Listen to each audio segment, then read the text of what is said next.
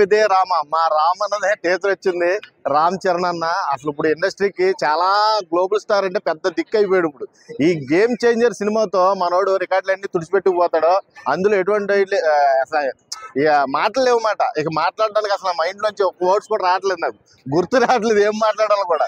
అంత బాగా అనిపించింది టేజర్ అయితే. శంకర్ గారికి ఇది బిగ్గెస్ట్ హిట్ అవ్వాలని నేను మనస్ఫూర్తిగా కోరుకుంటున్నాను.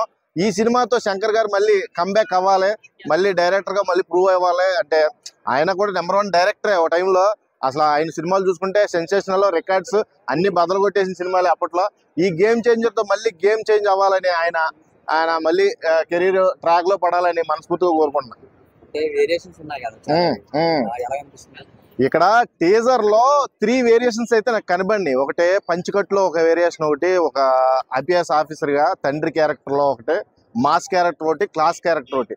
అంటే క్యారెక్టర్ వైజ్గా చూసుకుంటే చాలా రకాలుగా కనబడుతున్నాయి కానీ ఒక ఒక సీన్ నాకు బాగా బాగా అనిపించింది. ఏంటంటే ట్రాక్ మీద కూర్చునే పోస్టర్ ఏదైతే ఉందో అక్కడ మొత్తం అందరిని పడుకోబెట్టి ఆయన ట్రాక్ దగ్గర కూర్చున్నాడు చూడు. అది చాలా మాస్ లుక్లో కనబడ్డాడు అసలు.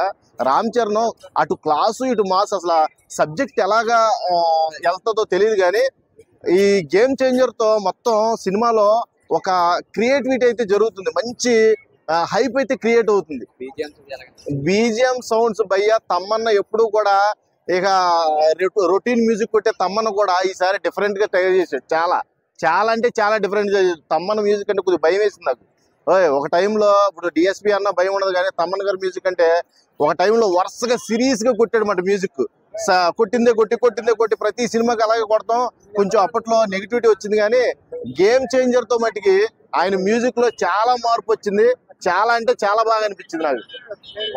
గేమ్ చేంజర్ ఇప్పుడు ఈ సినిమా తాటికి తట్టుకోలేక కొన్ని సినిమాలు ఆగిపోయినాయి బయట. అవన్నీ కూడా రావాలి అంటే ఖచ్చితంగా గేమ్ గేమ్ చేంజర్ అనుకున్న డేట్కి రిలీజ్ అవ్వాలి. రిలీజ్ అయితేనే అవన్నీ కూడా తర్వాత వస్తాయి. లేకపోతే ఈ తాకిడికి తట్టుకోలేక కొంతమంది అయిపోయారు ఎవరెవరు తర్వాత solo pan India movie Ram చరణ్కి మంచి హిట్ అవ్వాలి ఇది. Blockbuster solo pan India దగ్గర దగ్గర ఇప్పుడు ప్రీ రిలీజ్ బిజినెస్ ఒక ఐదు వందల కోట్లు జరుగుతుందని నా అంచనా.